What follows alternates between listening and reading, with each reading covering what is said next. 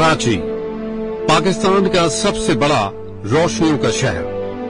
روشنیوں کے اس شہر میں تقریباً تین کروڑ کی آبادی بستی ہے۔ یہی وجہ ہے کہ کراچی کو منی پاکستان کا اعزاز بھی حاصل ہے۔ شہر کراچی کے لوگ اپنی زندگیوں میں بہت خوش ہیں، لیکن چند مسائل ایسے بھی ہیں جو کہ رفتہ رفتہ بڑھ رہے ہیں۔ لیکن ان کی روک تھام کے لیے کوئی انتظامات نہیں کیے جا رہے، جن میں ماحولیاتی آلودگی گندے پانی سے پیدا ہونے والی بیماریاں، گاڑیوں کا شور و دھواں، پلاسٹک کی تھیلیاں اور ان کو جلائے جانے سے بچ جانے والا زہریلا مواد شامل ہے۔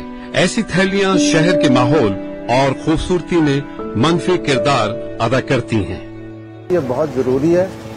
یہ ہمارے سروائیول کا مسئلہ ہے، زندہ رہنے کا مسئلہ ہے۔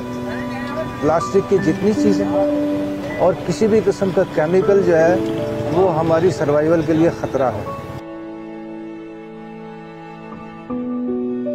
ہمارے سامنے کراچی کے علاقے ملیر کینٹ کا منظر ایک بہترین مثال ہے۔ ملیر کینٹ کے رہائشیوں نے پاکستان میں ان پلاسٹک کی تھیلیوں کے استعمال کی فوری روک تھام کے لیے عارضی براؤن پیپر بیگز کا مسلسل استعمال متعارف کروایا ہے، جبکہ کپڑے کی تھیلیاں اور پیج سے بنائے گئے بیگز کا استعمال بھی کیا جا رہا ہے تاکہ ماحولیاتی آلودگی میں کمی آ سکے۔ پچھلے پانچ مہینوں سے ملیر کینٹ میں نہ صرف پلاسٹک کی تھیلیوں کا استعمال ختم ہوا بلکہ وہاں کی رونقوں اور ماحول میں بہت سی تبدیلیاں آئی ہیں۔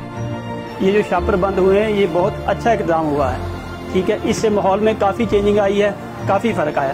پہلا جو شاپر بیگ سے بہت زیادہ زیادہ گند ہو جاتا تھا۔ ابھی اللہ کا فضل ہے لوگ گھر سے کپڑے کا تیلی بھی لے آتے ہیں۔ ہم لوگ بھی کپڑے کا تیلی بیچتے ہیں تو کاغذ کا تیلی بھی استعمال کرتا ہے۔ اس میں جو ہے ابھی اللہ کا فضل ہے بالکل صاف ستھرے ہے۔ ملیر کیمپ کی انتظامیہ اور وہاں کے رہائشیوں کے پاس اس کمپین کو کامیاب بنانے کے لیے بہترین نظریہ موجود ہے، جس کی بدولت نہ صرف ملیر بلکہ کراچی کے مختلف علاقوں میں ان تھیلیوں سے پیدا ہونے والی آلودگی سے بچا جا سکتا ہے۔